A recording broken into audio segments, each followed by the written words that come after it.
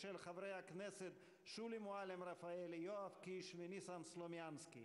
מי בעד? מי נגד? קריאה טרומית.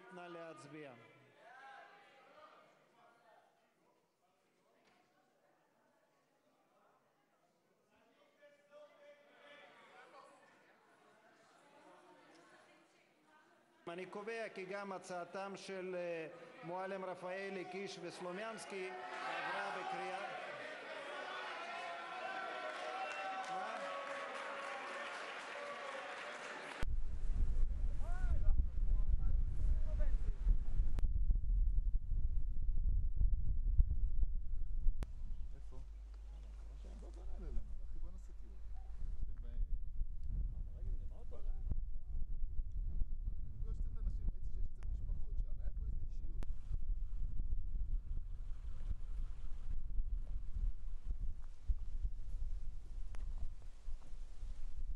we, uh, we expect the right-wing government to implement a right-wing solution. And th- this is the right solution, this is the just solution to let us stay and live here and to compensate any Arab who has a claim, a real claim over the land, who can prove it.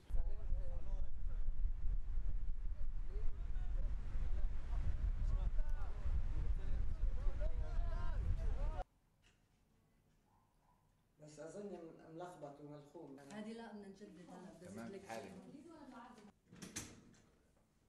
منيح هيك Um, we consider all settlements illegal whether they are on public land or private land. But now uh, it, it extends the, the confiscation of territory to private Palestinian land where settlers and the illegal Israeli occupation can steal outright theft Palestinian land, whether for public Palestinian use or uh, private Palestinian property, in order to expand its settlement project, destroy the two state solution, and at the same time impose greater Israel on historical Palestine.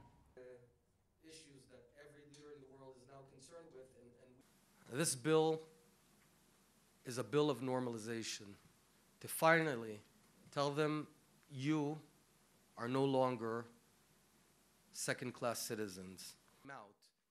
And what do we learn here? We learn